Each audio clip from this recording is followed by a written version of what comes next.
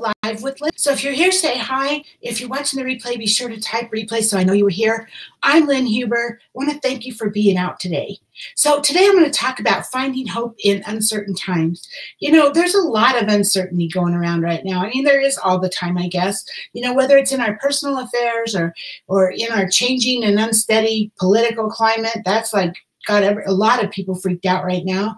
Um, there's there's a lot of uncertainty even in my life for sure right now. Um, it's not bad. I mean you know obviously the political climate has everybody nervous but even like in avon and the, the avon company was recently purchased by lg home and health and that's amazing in my mind. I'm really excited about all the changes that are coming up.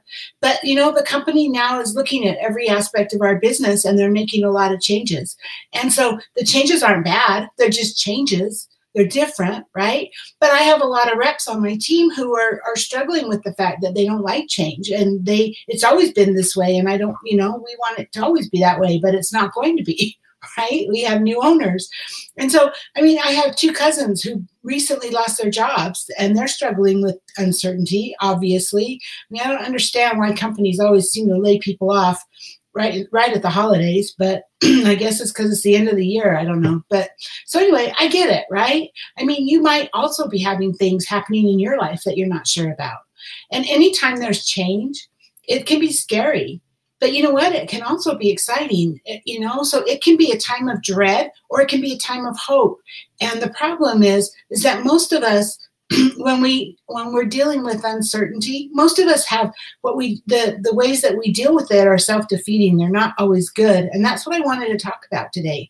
So when we face an uncertain future you know we often resort to feeling anxious. We worry. We maybe we complain or we're being negative about about events that might never even occur. You know we're, we're always looking for the what if what if what if? And and we think the worst but even even horrible things like losing your job in the holidays that, that is horrible. I you know I, I am not saying it's not but but it could turn out to be the best thing that ever happened to you. You could end up with a much better job.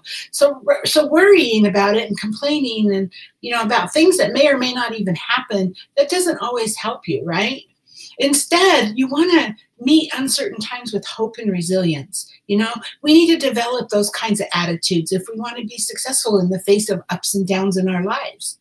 So, what does hope mean? well, think about how you handle difficult situations, right? Do you offer platitudes like, um, I hope everything will work out? You know, unfortunately, this is just a way, a way of disengaging or checking out and not having to deal with it right? True hope comes from actually a much deeper source inside of you. In your core, there's vital qualities that can help you determine how much you feel about how much hope you feel, and as well as what, how much hope you can offer to others. And it's an essential co- component in facing any kind of uncertainty. You know, hope is, hope can make all the difference, whether you're facing layoffs or promotions or moving or even to the current state of the world. Sorry, I don't know what's with my throat. But so anyway, hope has three primary qualities, right? It has strength. You draw from inner strength to tap into your personal powers. It has resilience. You bounce back when you're faced with setbacks and obstacles. And it has optimism. Optimism, if I could say the word optimism. You stay positive despite the challenges ahead of you, right? So these are these are just the opposite of pessimism and complaining and worry, right? Rather than being a self-defeatist, you can be strong, resilient, and optimistic. And in this way, you can improve your self esteem. You know, hope is essential for handling a crisis, but it can also serve as your core value every day. Uncertainty happens every day, all throughout our day. You know, we, we run into uncertainty, whether it's a personal issue, a business issue, um, a national event, or even a global event. The situation doesn't even necessarily need to be negative. Um, like it could be a promotion. You could it could be good news, right? But it's just anytime that something is changing, there's always uncertainty and excitement even you know it could be even like starting your own business. You know that comes with a lot of uncertainty or start or, or excitement too right? So let's take a look at those qualities that i just mentioned. So the first one was strength So most of us are all too willing to give away our power. You know, what could be a more hopeless situation though than being without power? You know, this can happen both in business and in personal relationships. You can find yourself going along with something you disagree with just because you don't have the strength or the power to speak up. That's not good. Retaining power means that you stand up for yourself and then you can overcome the resistance and you can turn a catastrophe into an opportunity because you have the power. You know, true strength is the core of your being. It's a quiet calm that isn't disturbed by the events or the emotions that's happening, right?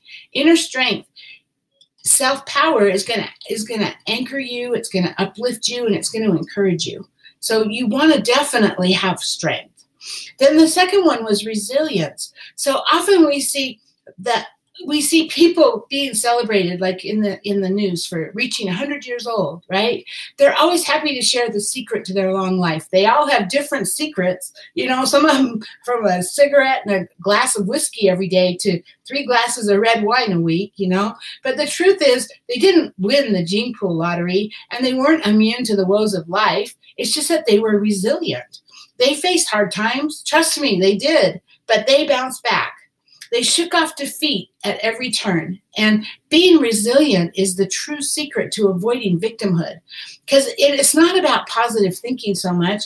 When we're faced with sadness, it's healthy to deal with that sadness. Obviously, if we lose a loved one, that grief is natural, right? We're gonna we're gonna grieve, we're gonna feel sad. That's totally okay. But resilience and, and overcoming adversity comes from a strong sense of self. So you allow yourself to grieve, you allow yourself to feel sad, but then you are resilient and you bounce back and you don't allow yourself to stay there too long. That's the key. You don't allow yourself to stay there. And then the third one was optimism. So, you know, we hear we hear all the time society teaches us that life can be difficult and that struggling is the norm and almost that it's that it's um um, struggling is something to be proud of you know? And society wants society wants us to believe that the safest place for us is behind a wall right? And when you're when you're dealing with real struggles like that sometimes optimism feels foolish and unrealistic you know? But when we i mean if you even go back to the hitler days people who were in the concentration camps they they were horrible they were treated horribly, but they still had optimism, right? So a lot of times when we meet people who are truly optimistic, we tend to be jealous of their cheerfulness. Attitudes of pessimism, skeptic, skepticism, and cynicism, they come from fear and distrust. So life can take care of itself, and that's the attitude of optimism.